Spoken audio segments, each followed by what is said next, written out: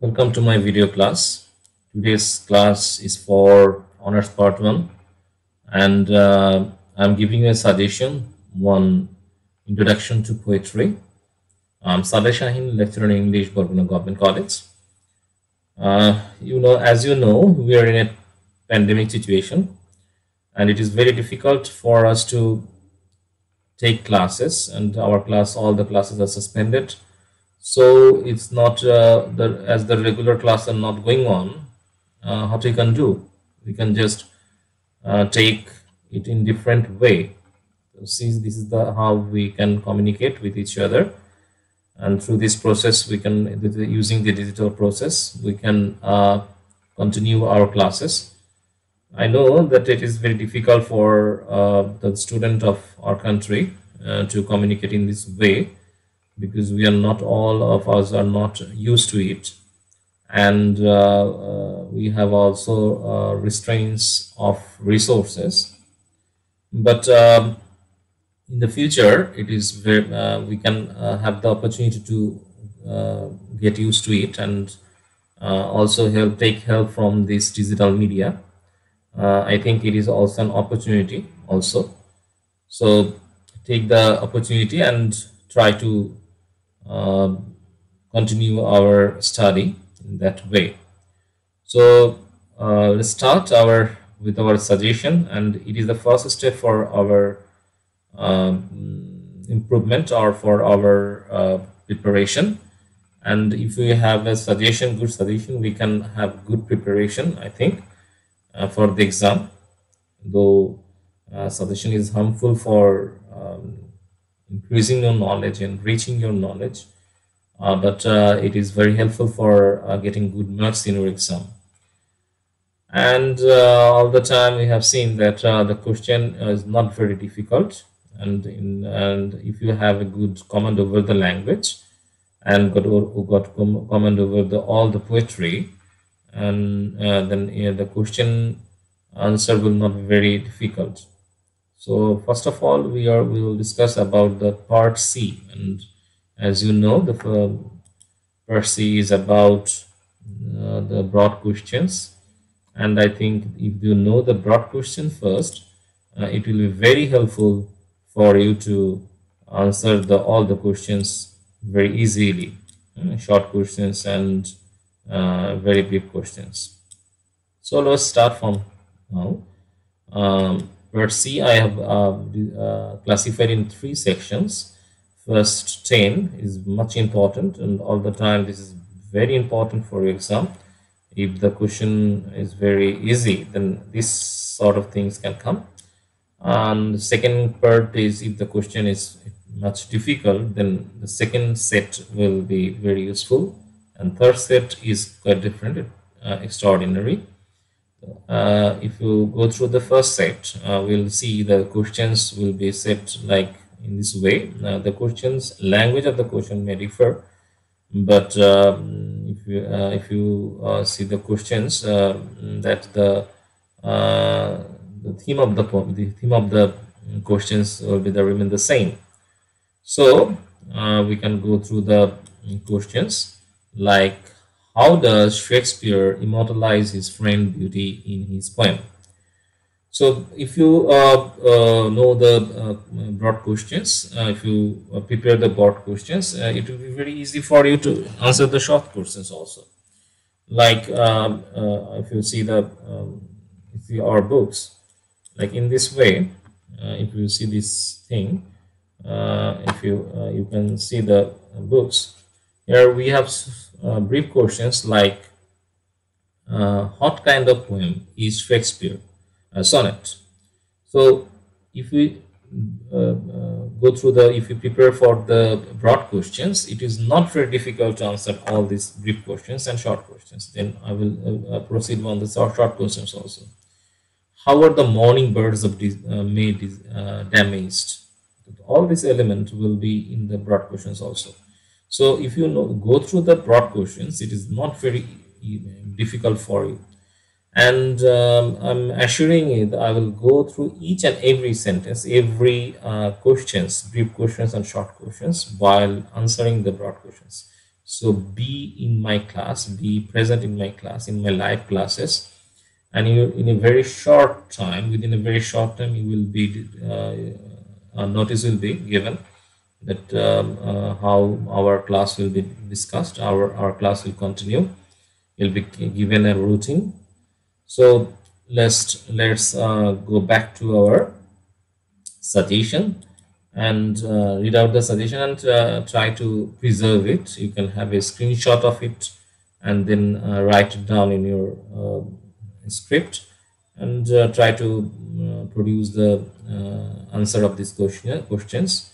Um, first of all, how does Shakespeare immortalize French beauty in his poem? Number two, how does Tennyson's Ulysses represent the Victorian quest of knowledge and adventure? Number three, uh, comment on the intensity of passion expressed in How Do I Love Thee? What autobiographical elements do you notice in the poem uh, A Prayer for My Daughter? Discuss the theme of childhood in Dylan Thomas' poem Fernhill. How is human life compared with daffodil in the poem To Daffodils? Comment one Wordsworth as a poem of joy, poet of joy and solitude with reference to the I wonder lonely as a cloud. Number seven, uh, compare uh, comment uh, number eight, comment on the Emily Dickinson's obsession with the death in her poem because I could not stop for death. Number nine,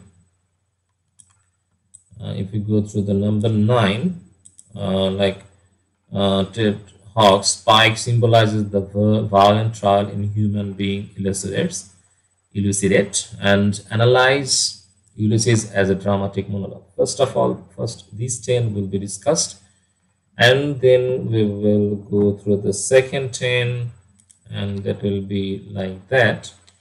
How does Dylan, Dylan Thomas uh, glorify and idolize childhood in Fernhill? Discuss on uh, his blindness as a sonnet, comment on the uh, home burial as a poem of dramatic tragedy, why does the poet pray for his daughter in the poem, A Prayer for My Daughter? And why? Write a critical appreciation of the poem to Daffodils. How does Gray glorify common men? Comment on the imagery in Ted Hughes' poem Pike. How does Thomas Gray glorify common men in his elegy? What image of nostalgia do you find in the poem The Piano? And how does Rabindranath Tagore describe the present state of his country? This is the third 10. How does Kaiser Haq learn grief? Evaluate Donne as a poet of love with reference to his poem The Morrow. Comment on the imagery used and how do I love thee? What romantic element do you find in the I Wonder Lonely as a Cloud? Describe Wordsworth's feeling after seeing the daffodils. Comment on the Emily Dickinson's treatment of death in the uh, in uh, because I could not stop for death, write a critical appreciation of the poem on his blindness. Browning show the tragic fate of Patriot, discuss, uh, dis discuss Walt Whitman's as a revolutionary poet. How does Shelley use imagery in his poem Ode to the West Wind? So these things, uh, this suggestion will continue and this question can be set in different ways and uh, we'll go through one by one and in our next classes so continue uh, watching the class and i am giving you a thing a thing for your thinking critical thinking see the picture and try to uh, analyze it and i'm giving a description of it a person is going through some gate and but a person, uh, a devilish person, a devil is stopping him and uh, saying that, uh, sorry, sir, no bags are allowed here. Uh, so, uh, how to describe it? Is you can describe it in different way. So, see the picture first and try to describe it, and write it in your answer script.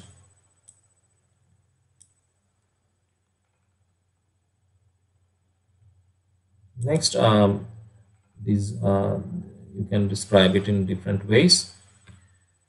So this is how we can uh, go through it. And uh, um, this is my first class. And uh, I'm, very much uh, uh, live class so it is very difficult for a person to um, uh, the very beginning it is very difficult. I think you have i have some limitations here and i think it will i will overcome it in my future classes. So thank you very much. And at the same time i want to say we are trying our best to pronounce english in um, correctly because um, if you want to say something in bengali or in english or arabic whatever language it is it must be pronounced in that way. Because when you say something in a language the language has some sort of pronunciation of its own. If you pronounce it in own way it the language will lose its own criteria its own um, virtue. So try to say uh, when you uh, use a language when you want to use a language uh, use the language not in your own way try to be close to the native speakers. Listen the native speakers. So listening is first thing. So uh, as a student of english literature you have to have the courage to speak something. Speak english uh, very clearly and uh, in a very um, right pronunciation and uh, try to write something offhandedly very uh, critical think, think something in a very new way, not cram something, that don't try to wrote something. So uh, this will produce, uh, uh, make you a, a, critical thinker. You can, you can uh, think something. So uh, this is the uh, first and foremost um, advice from um, from a person like me, very a teacher of of your a guide of your uh, honors first year. So, so uh, first of all, uh, you can gather words and sentence structures. Read, read, and listen. Listen English first. Read manuscripts like newspaper and all these elements, uh, news elements or books. These will improve your vocabulary and at the same time improve your uh, capacity to write something, uh, write the creative writing. So uh, and when will you uh, be used to the uh, speaking in English? It will not be very difficult for you to write it in your um, manuscripts. So mm, try to do in that way. Try to be habituated with these things and all the time try to uh, listen the english movie uh, try to watch the english movie and try to listen the uh, bbc cnn um, or that type of new channels uh, that will help you to uh, listen and at the same time uh, speak English fluently. And another one is if you read and go through the passages, different type of uh, writings, it will increase your vocabulary and at the, at the same time, it will increase your uh, writing capability. So this is for the, uh, this is the, my advice to you I think uh, we can uh, make, uh, giving advice is very easy, but um, making it in your making it real is very difficult. So you will, I think, you will follow my advice and try to be capable of reading and writing the writing in another language, international language that is in English. So that is the, all for today. Uh, we'll uh, God will uh, be uh, very impressed if you I will be very impressed to if you um, follow my advice and this is uh, this is the end of my first class uh, live and thank you all. Thank you everybody